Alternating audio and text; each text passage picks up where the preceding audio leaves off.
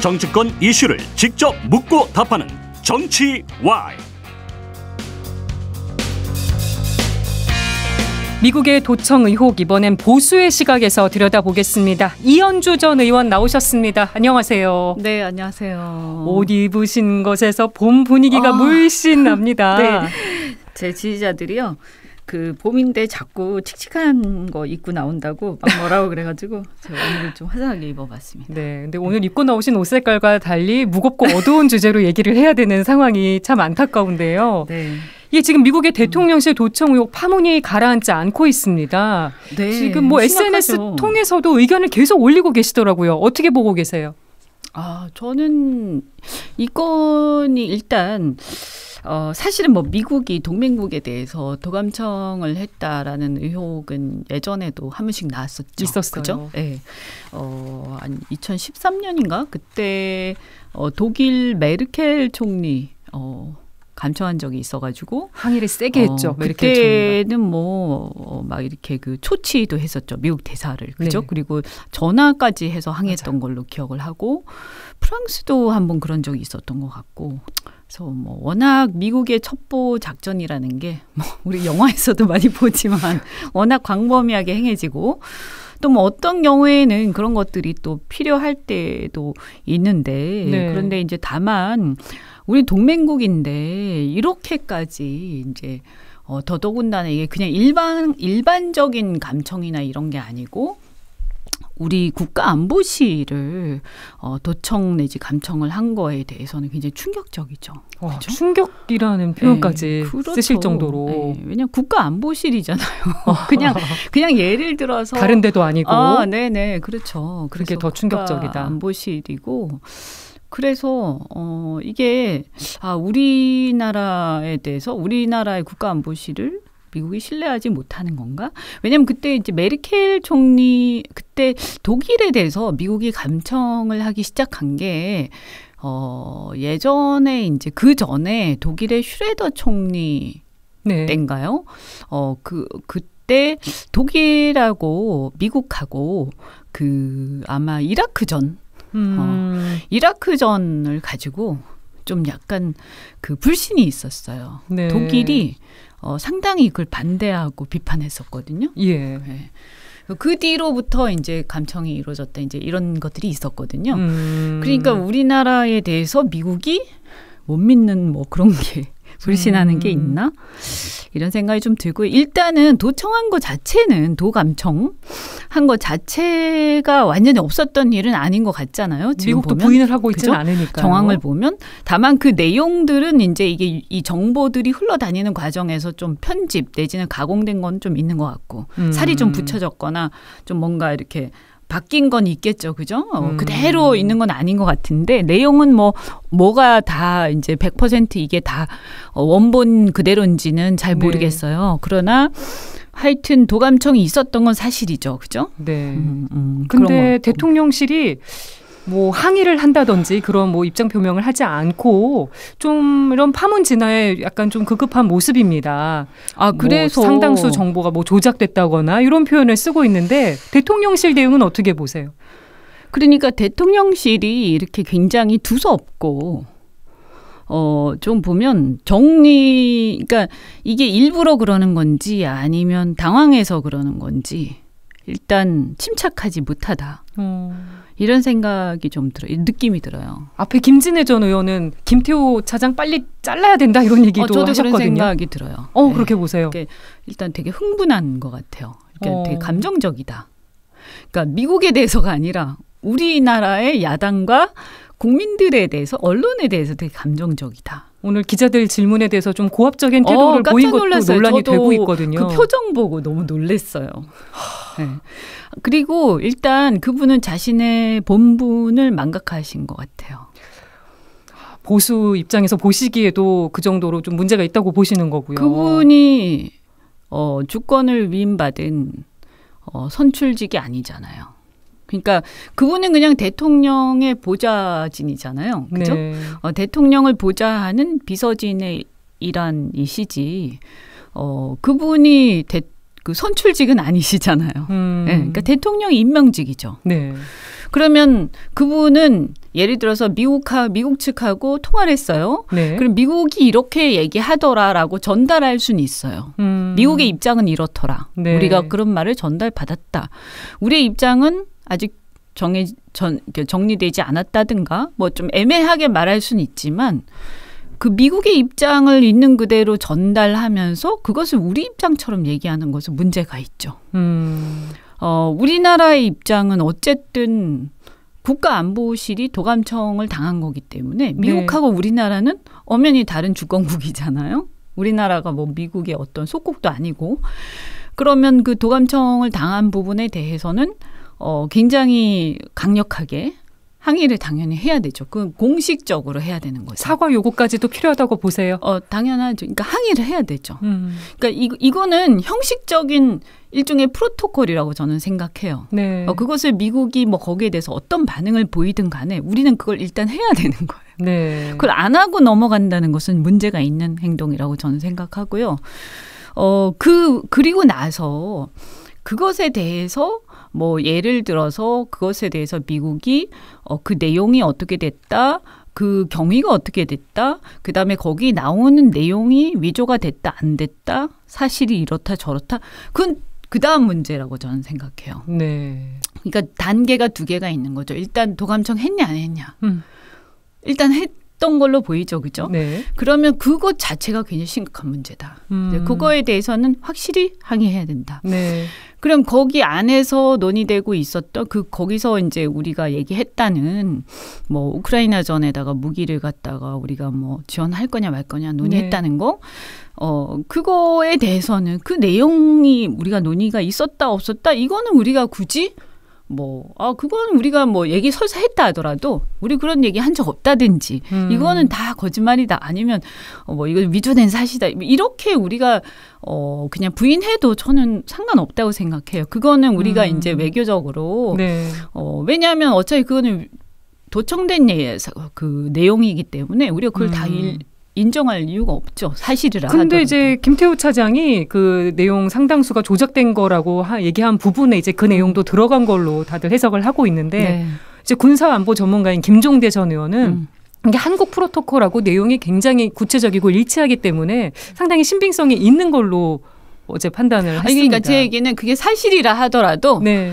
그건 우리가 이제 뭐 전략상 네. 부인할 수도 있다고 저는 생각해요. 아, 전략상. 네, 뭐 굳이 우리가 그것을 고지고대로 다 공개할 필요는 없는 거죠. 도청 문제가 더 심각하고 본질적인 것이기 어, 때문에. 어, 그렇죠. 어쨌든 다른 나라가 우리 주권을 침해한 것 자체에 대해서 우리가 일단 음. 항의를 하고 네. 그 내용에 대해서 우리가 그것을 뭐 어, 그게 설사 사실 그런 논의를 했다 하더라도 그걸 논의를 했다 안 했다 그걸 우리가 거기서 뭐 굳이 어 인정하거나 음. 할 필요는 없는 거죠. 그냥 음. 어, 없었던 일이다라고 해도 네. 그건 아무 문제가 없죠. 네. 조금 전에 올리신 SNS 마지막 음. 문장 인상적이었습니다. 국민은 바보가 아니다. 음. 요 말씀에 담긴 의미 듣고 싶은데요. 아, 그러니까요. 그래서 제가 얘기한 게 그거잖아요.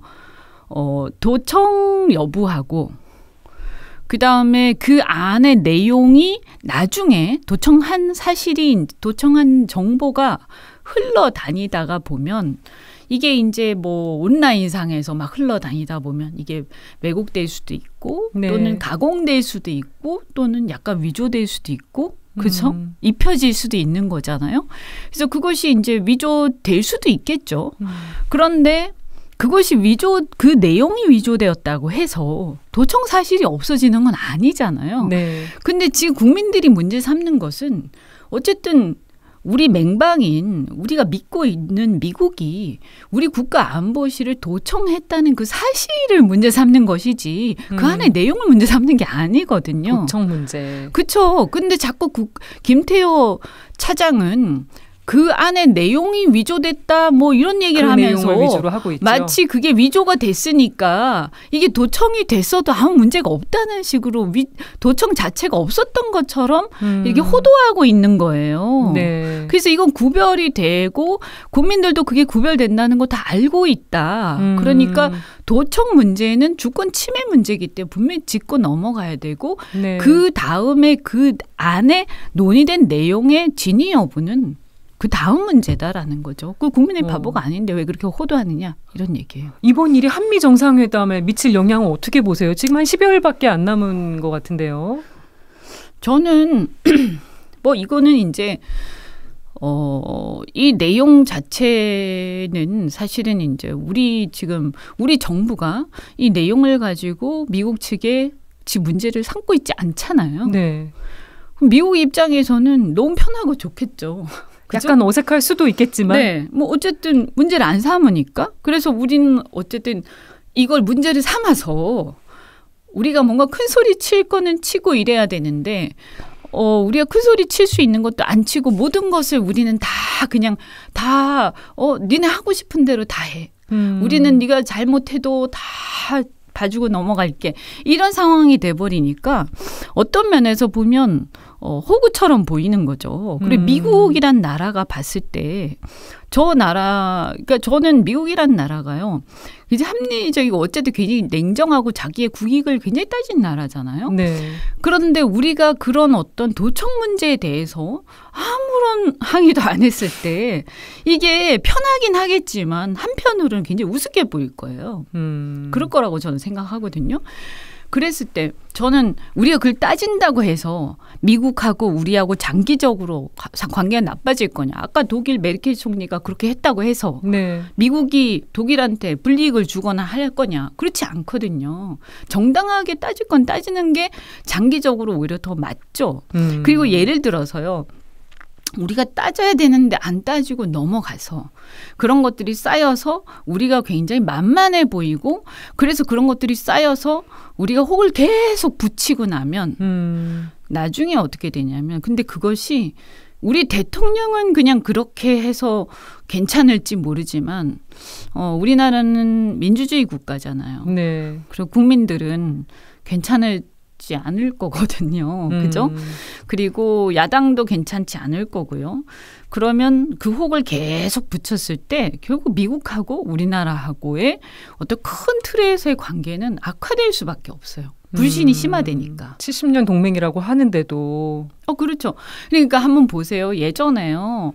MB 정권 때 그때 보면 어, 쇠고기 수입 문제 이런 있었죠. 것들도 처음부터 우리가 이렇게 아 이건 너무 그거 하니까 이 정도만 하자라고 하고 정확하게 딱딱딱딱 짚고 넘어갔으면 일이 그렇게 커지지 않을 수도 있는데 음. 보면 얼렁뚱땅 얼렁뚱땅 하고 넘어가다가 나중에 일이 엄청 커져서 음. 그것을 뒤집고 뒤집고 하다 보면 오히려 어, 믿고 그냥 괜찮겠지라고 했던 상대 국가한테 굉장히 큰 결례가 되는 경우가 많지 네. 않습니까? 일본하고도 마찬가지죠.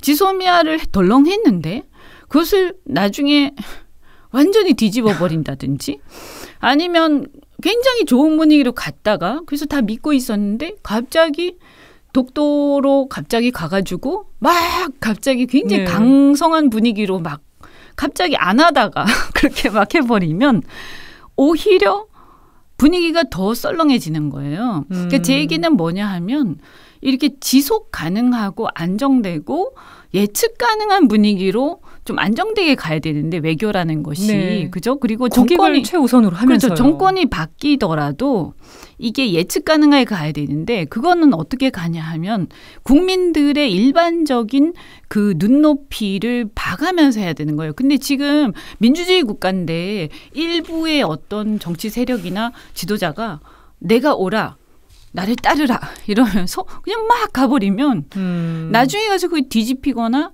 기조가 막 들쭉날쭉해지잖아요. 네. 그러면 상대 국가가 봤을 때는 우리는 정권이 바뀌거나 뭐 여러 가지 사정이 있지만 그런 거 다 감안해주지 않잖아요. 그러면 네. 그 나라가 봤을 때 저 나라는 믿을 수 없는 나라야. 어. 이렇게 돼서 외교 관계가 더 안 좋아지는 거죠. 그러니까 윤 정부 외교 정책 좀 큰 틀에서 다시 좀 재정비가 필요하다고 보시는 거죠. 저는 좀 침착할 필요가 있다. 음. 그리고 어, 너무 어, 오버할 필요 없다. 음. 그리고 그 개인적 예를 들어서 윤 정부나 그쪽의 참모들은 이렇게 한 100 정도 가고 싶어도 국민들이 그렇게까지 원하지 않으면 네. 국민들이 생각하는 한 70 정도면 그 정도만 가면 된다. 어. 어, 일본하고 관계도 마찬가지다. 네. 저는 그리고 그 아까 도청도 국민들이 이건 주권 침해잖아요. 그래서 음. 아 이건 문제가 있다라고 하면 우리가 상식적으로 합리적으로 얘기해야 되는 국가 이익에 대한 거는 딱 네. 지켜줘야 되는 거죠. 네. 저희가 이야기를 나누다 보니까 시간이 다 돼서요. 라디오 버전은 여기서 인사를 드리고요. 유튜브 후토크로 좀 이어가도록 하겠습니다. 김영의 뉴스 공감 이현주 전 의원과 보수의 시각에서 이 도청 문제 얘기 나눠보고 있습니다. 이야기 조금 더 이어가 볼 텐데요. 이번 그 미국의 기밀 문건에 우리나라만 등장하는 게 아닙니다. 네. 프랑스와 네. 이스라엘 등 얘기도 있어요. 근데 프랑스와 이스라엘 등은 문건 내용을 사실과 부합하지 않는다고 이제 규정한 것에 대해서 대통령실은 양상이 좀 달라졌다고 보는 것 같습니다. 이 부분은 어떻게 보시는지 궁금한데요. 그러니까 이제 프랑스 같은 경우에도 보면 어, 이 도청 자체가 없었다 이렇게 하는 게 아니고 네. 어, 그 도청했다고 돌아다니는 그 내용 자체가 어, 사실은 그런 사실은 없었다라고 부정하는 거거든요. 그러니까 예를 들면 우리나라에 지금 문제가 되고 있는 우크라이나에 대한 무기 지원에 대해서 우리가 고민했다 하는 그 사실은 우리는 그런 논의를 한 적이 없었다라고 만약에 우리 대통령실이 얘기한다면 그거하고 비슷한 거죠. 음. 근데 우리는 지금 그 정도 얘기하는 게 아니고 도청 자체가 없었다는 것처럼 막 얘기하면서 도청에 대해서 항의하라고 하는 사람들이나 기자들한테 항의해야 되지 않느냐라고 하는 사람들한테 막 화를 내거나 네. 그러고 있는 거 아니에요? 선동이라는 그러니까, 말도 썼어요. 네, 그러니까 이것은 굉장히 무책임한 태도고 그 다음에 더더군다나 우리는요 이게 무기를 그 내용 자체가 어, 사실하고 맞아요. 우리의 현 상황하고 우리는 우크라이나에 대해서 사상 무기를 지원하지 않는다라는 게 우리 입장이고 네. 거기 논의된 내용도 우리 입장하고 동일해요. 예. 근데 프랑스 같은 경우에는 우크라이나에 프랑스의 특수 작전군을 보내지 않는다. 어떤 군인도 파병하지 않는다라는 게 프랑스 입장인데 그 문건에 보면 특수 작전군을 100여 명 정도 보냈다. 이렇게 음. 나오거든요. 그러니까 당연히 부인해야죠. 거기서 음. 어떻게 사실을 하더라도 그거를 인정할 수가 없죠. 음. 이스라엘 같은 경우에도 모사드라고 그 정보기관이 있는데 이스라엘 지금 보면 어, 사법개혁, 마리개혁이지 네. 이제 정부에서 어, 그러니까 이스라엘 같은 경우는 이게 이제 팔레스타인하고 이게 예, 아, 이 갈등이 있잖아요. 유대인 네. 중심의 그 정부하고. 근데 이 팔레스타인하고 유대인 중심의 이 정부하고의 사이에서 이 통합을 좀 매개 해 오던 역할이 사법부예요. 네. 근데 이 사법부가 그런 매개를 해오던 거가 좀 껄끄러우니까 음. 이 사법부를 개혁하자라고 하면서 정부가 막 사법부를 압박하고 있거든요. 음. 그러니까 이 사법 개혁안, 정부의 사법 개혁안에 대해서 반발하는 시위가 막 일어났는데 이거에 대해서 정보기관인 모사드가 모사드에서 어, 이 시위에 좀 참여해라. 네. 그러니까 정부하고 약간 대립되는 좀 약간 모순된 네. 입장이잖아요. 그러니까 좀 곤란한 상황인 거죠. 그래서 이런 내용이 나오니까 정부는 당연히 부정해야 되는 거예요. 근데 정부는 이거를 오히려 얘기를 하면서 우리는 사실은 정부의 네. 입장하고 같은 내용이죠. 네. 그래서 좀 상황이 다른 거예요. 음. 그러니까 꼭 그대로 나 이거 얘기할 수도 없는 거고. 네. 그리고 저는 음 일단 아까도 말씀드린 것처럼 도청 사실 자체를 부정하지는 않잖아요, 미국도. 그 일단은 우리 정부는 우리 주권이 침해된 어떤 저, 도청 사실 이 자체에 대해서는 강력하게 항의하겠다. 네. 라고 먼저 얘기를 하고, 음. 그 다음에 사실 여부에 대해서는 좀 뭐, 그거는 이제, 어, 우리가 더 계속 논의해보겠다든지 조사해보겠다든지 네. 그거는 좀 어 뭐 어, 나중에 천천히 얘기하자든지 이렇게 하는 게 맞는 거예요. 그리고 어, 국가의 이익이라는 우리가 미국하고 대한민국의 국가 이익은 꼭 같지 않거든요. 음. 그럴 수밖에 없잖아요. 다른 네. 나라인데 서로. 그러니까 어, 특히 국가 이익 외교에서의 핵심은 국가 이익을 지키는 건데 그렇죠. 그 국가 이익 중에 핵심이 뭐냐 하면 영토, 주권, 국민 뭐 이런 것들이거든요. 네. 그러면 이 도청이라는 것은 국가 이익의 핵심이 침해된 거예요. 음.